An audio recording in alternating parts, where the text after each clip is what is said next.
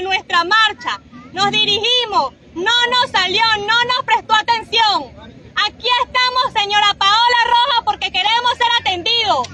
Caminamos nueve horas, señor. Yo con mi hijo acá, porque mi esposo está preso allá.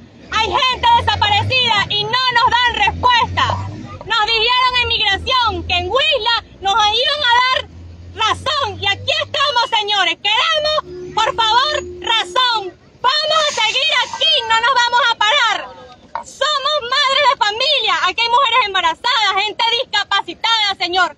No somos nadie para parar aquí, está bien, pero nos sentimos secuestrados, señores, acá.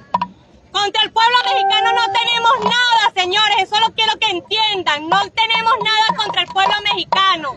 Solo queremos respuesta, queremos nuestra visa, señor. Por favor, señora Paola López. Nos necesitamos aquí, queremos avanzar, por favor. Ya estamos cansados. Estamos, mire, con hambre, sueño. Dormimos en el piso. Ah, ¿Hasta cuándo nos mojamos? Mire, porque los están en las redes, todo lo que pasamos ayer.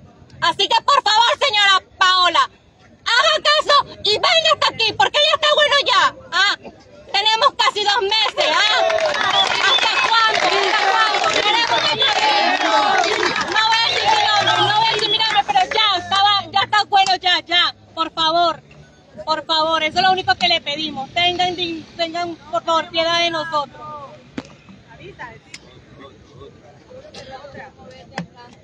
Es la manera pacífica la que están manejando ustedes y que le piden y exigen a migración ante la falta de su atención. Claro, esta es la manera más pacífica que nosotros encontramos porque es la única manera que nos puedan prestar atención.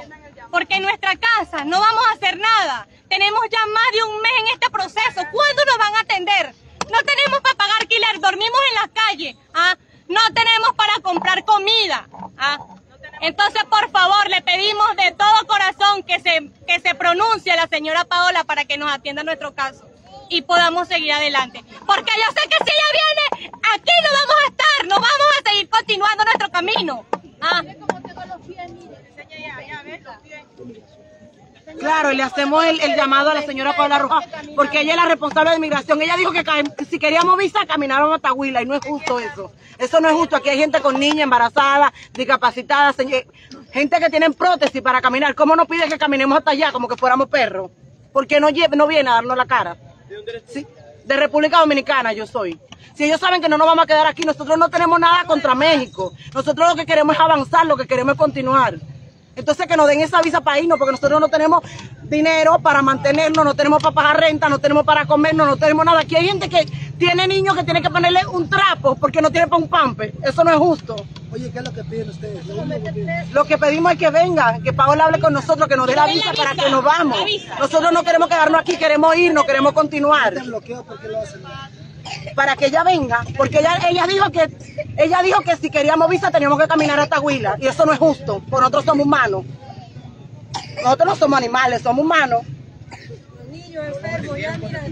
Y no nos atendieron, fuimos al siglo XXI, eso fue lo que ella dijo, no, tienen que, si quieren la visa, tienen que caminar hasta Huila, mandó a decir, porque ni siquiera se presentó ella. Y no es justo. Queremos visa, queremos visa, queremos visa. Mire eso, mire esto, cómo lo tengo, eh, de tanto caminar, porque esa señora nos mandó a caminar hasta acá, nos mojamos con los niños, pasamos hambre, necesidad, dormimos en, en la cancha ya con frío. Gracias a Dios que hubo gente humana que nos prestó, nos regaló ropa y gracias a Dios tuvimos este calorcito por medio de esas personas buenas que yo sé que no, ustedes no son los culpables.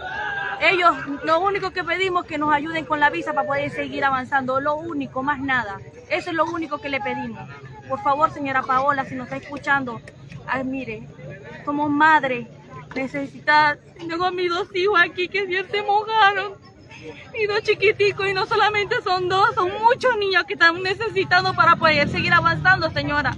Si usted es madre, entiéndanos a nosotros, entiéndanos. Por favor, ayúdenos con la visa, por favor, es lo único que le pedimos.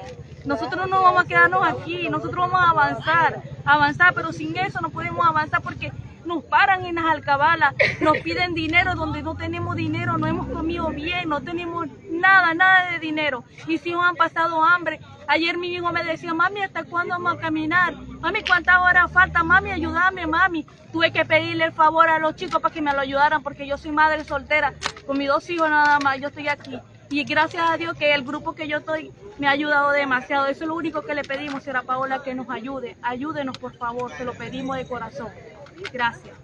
Queremos visa. Daisy mi nombre es Daisy. Queremos visa. Queremos visa.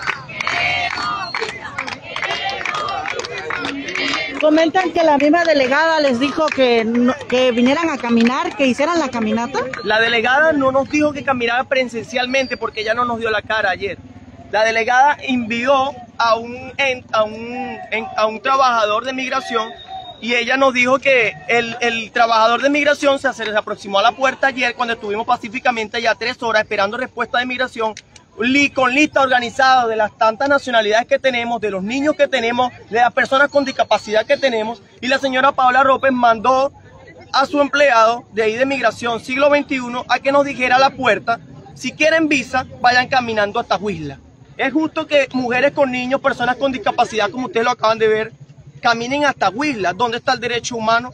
¿Dónde está el que migrar no es un delito? Porque eso es lo que dicen las ¿Por qué- Naciones Unidas. ¿Por qué bloquean?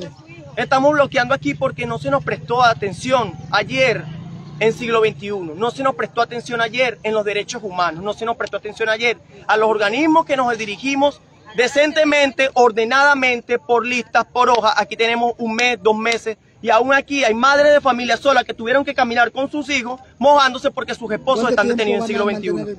Vamos a mantener el bloqueo hasta que las personalidades de migración se aproximen a este lugar y también las personas de, mi- de los derechos humanos, porque exigimos los derechos humanos, porque esto que está pasando aquí es inhumano y no se nos está tratando como Hay merecemos. una, hay una inconformidad de los mexicanos, ¿qué decirles a ellos?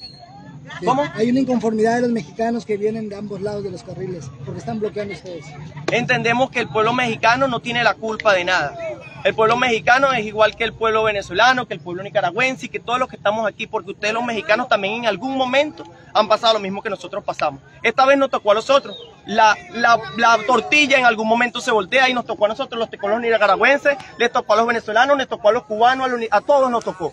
Les tocó a las mujeres con niños, ecuatorianas, bolivianas, eres, a los bolivianos nos tocó a todos. Hoy no le tocó a México, gracias a Dios, Dios bendiga a México. Les pedimos que nos colaboren en lo más que puedan, gracias al pueblo de Obregón que nos ha abierto las puertas, ha ayudado a las mujeres, ha ayudado a los hombres con ropa, con comida, con agua, pero nosotros exigimos aquí que migración se aproxime y nos atienda. Gracias. Marcos Pérez. ¿De dónde eres? Soy venezolano, soy venezolano. Aquí vemos personas de diferentes nacionalidades, aproximadamente 10 nacionalidades. Aquí vemos entre hindú, entre árabe, entre africano, venezolano, suramericano, centroamericano y de todas partes de- del mundo ahorita. Aquí estamos, nos dirigimos ayer hasta allá, no se nos respondió. Hoy en la madrugada tuvo que salir una señora de emergencia con su hijo a Tapachula en un taxi porque el niño estaba trancado al pecho por la, por la fuerte lluvia que pasamos ayer. Entonces la chica embarazada se tuvo que ir porque tenía mucho dolor de vientre por la caminata tan grande. Y esa es la caminata que Migración Tapachula, que la señora Paola Rojas y sus trabajadores nos dicen a nosotros, riéndonos en la cara porque se burlan de nosotros, como que nosotros le estuviéramos pidiendo comida. No les estamos pidiendo comida, les estamos pidiendo un derecho y es poder transitar. Es un no, es, no es ilegal ser inmigrante. Estamos en nuestro derecho de exigir nuestra identificación. Es un derecho humano que cada quien tenga identificación propia. No estamos aquí robando, no estamos aquí matando. Somos estudiantes, somos trabajadores, somos padres de familia y estamos exigiendo aquí un derecho legal. Gracias. Muchísimas gracias a los medios que nos están acompañando y a la gente que nos está viendo, disculpen. Y a la gente que está esperando, disculpen. Pero nosotros aquí tenemos mucho tiempo, tenemos dos meses, tres meses y mucha gente aún presa en siglo XXI. ¿Dónde están los derechos humanos? ¿Dónde están los organismos? ¿Dónde está migración? Muchísimas gracias, México. Bravo, bravo.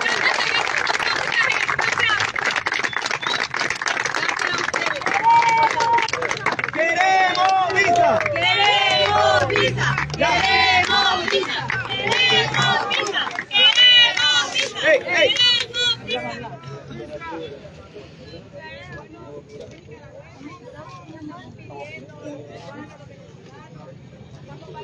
Pues como podemos observar, pues lo único que piden ellos es la visa humanitaria que los atienda, que venga migración. Le hacen un total llamado a la delegada de migración, Paola López Rodas. su país. No, no venimos a molestar a nadie. Niños con hambre, niños que lloran, se han mojado, mujeres que andan discapacitadas y aquí estamos. Queremos la visa humanitaria. Ante la falta de, de la atención de migración, ¿por qué estás haciendo el bloqueo? Solamente le exigimos al pueblo mexicano que nos ayude con el tema de la visa. No estamos pidiendo más nada. Solamente queremos que nos ayuden con la visa. Ayer que visitaron siglo XXI, ¿se negó migración a atenderlos? Sí, rotundamente. Se Comentan negaron. entre los más migrantes, comentan que entre la los más migrantes Paola- que la misma delegada mandó a otras personas a decirles que caminaran. Sí, Sí, que nos fueran a correcto, Huila si correcto, que queríamos nos viniéramos visa. hasta aquí, hasta Huila, si queríamos visa. Se negó rotundamente a atendernos. ¿No van a levantar el bloqueo? No. Estamos rotundamente dispuestos a quedarnos aquí hasta que ella venga a darnos la cara y a darnos respuesta. Gracias. ¿De dónde eres? Venezuela. Gracias.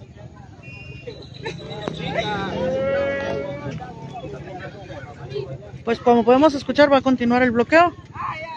No van a levantar este bloqueo hasta que migración venga y les dé una solución.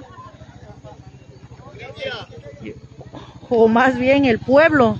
Si se llega a levantar el pueblo, pues no sabemos qué vaya a suscitar sobre esta vía para las personas que nos están observando. Si vienen hacia Álvaro Obregón, pues está tapado.